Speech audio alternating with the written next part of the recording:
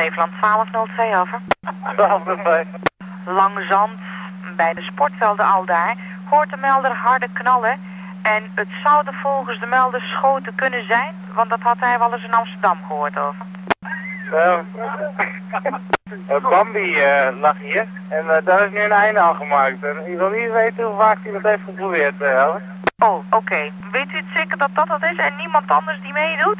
Ja, dat was, eh, de, ik krijg de quitatie. Oké, dan eh, zet ik dat er even bij, dankjewel.